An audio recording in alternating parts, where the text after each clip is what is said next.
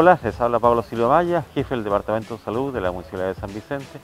Hoy he participado en una actividad maravillosa, ¿no cierto?, de premiación a los adultos mayores que participaron en un taller literario. Eh, quiero destacar, ¿no cierto?, que el empuje, las ganas que le pusieron a este taller y sobre todo, ¿no cierto?, lo que destacaron ellos puntualmente que lo ha liberado un poco este estrés que ha estado a la cuarentena. Por lo tanto, felicitarlos por el trabajo, siempre entregan sabiduría eh, nos enseñan nuevas cosas y sobre todo, ¿no es cierto?, que la paciencia que ellos tienen para soportar esta larga pandemia. Hola, mi nombre es Romina Caroca, terapeuta ocupacional, integrante del programa Más Adultos Mayores Autovalentes y el día de hoy tuvimos la premiación de lo que es una de las buenas prácticas que hemos tenido como programa.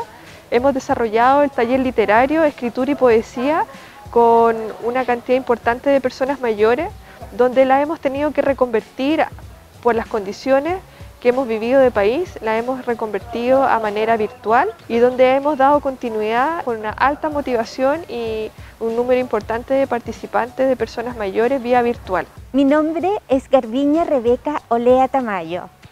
Este taller ha sido inmensamente eh, importante para nosotros los adultos mayores. Hemos tenido la oportunidad de mostrar nuestras aptitudes y yo quiero seguir, quiero que Dios mediante y los buenos oficios del CESFAM, de la municipalidad, sospecho, de este espacio maravilloso que tenemos acá, seguir el próximo año. Nos hace falta, nosotros los adultos tenemos cosas que decir, que plantear, que, que proponer. Somos un reservorio, un patrimonio humano no tangible y y yo creo que tenemos mucho que dar.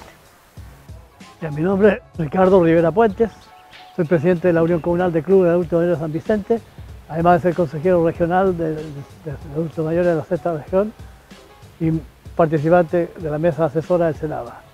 Eh, esta actividad nos ha permitido estar en contacto con la autoridad y preocupados de los grandes problemas que tienen hoy día los adultos mayores. Y quiero decir que con muchas satisfacción he participado en este taller literario que ha sido una tremenda oportunidad para darle salida a nuestras aspiraciones de adultos mayores, darnos cierta posibilidad de, tener actividades durante este tiempo de pandemia que no deja hacer nada. Esto ha sido muy valioso, contando con el tremendo apoyo de la municipalidad a través del CEFAN, que ha permitido que desarrollarse y poder luchar contra esta pandemia, manteniendo nuestras condiciones de envejecimiento activo, a fin de no decaer y caer en depresiones y enfermedades que hoy día son comunes.